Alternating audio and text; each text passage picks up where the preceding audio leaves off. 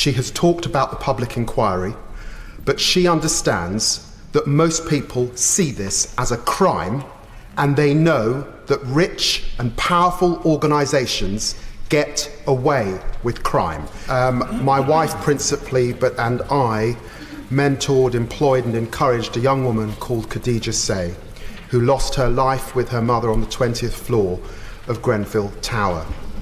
I spoke to her father on Tuesday, um, and he described the, with anguish, obviously, losing his only daughter. And we had a discussion about how he would cope in going to the mortuary to visit his daughter um, in the state that clearly she is in.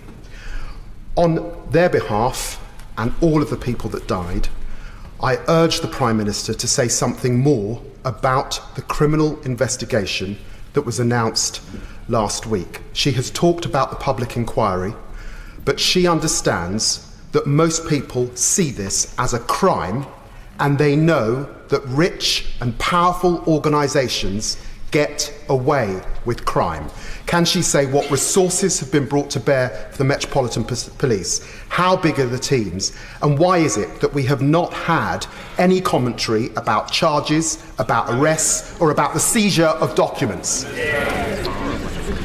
Can I first of all say how sorry I am to hear that the Right Honourable Gentleman has lost somebody, uh, a friend, in this terrible tragedy. There are obviously many people in that position, but it brings it home to this House uh, in, and right into this chamber. Uh, in relation to the criminal investigation, a criminal investigation has been opened by the Metropolitan Police. The, the, the Right Honourable Gentleman invites me to comment on that in a whole variety of ways. As he will know, this is an operational matter for the Metropolitan Police. It is for them to determine any point at which they have evidence which could lead uh, to prosecutions or to charges or prosecutions. We must let the Met do their job. They're doing it carefully, uh, they're doing it properly, but I can assure him and others that they will get to the truth and they will leave no stone unturned. And if there are charges and prosecutions, to